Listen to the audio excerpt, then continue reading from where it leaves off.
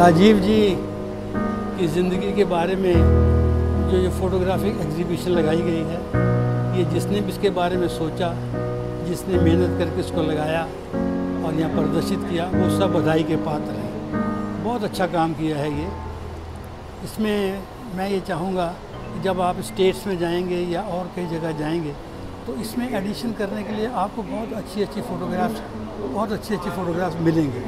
उनको एडिशन कर लेना चाहिए।